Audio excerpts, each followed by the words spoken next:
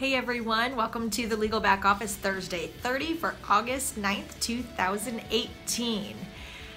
What do you do when people make you mad? Because sometimes people make you mad.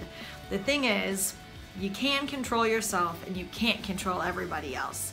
So here's one phrase that you can say that will, without admitting fault, diffuse an angry conversation every time. It is, are you ready for it?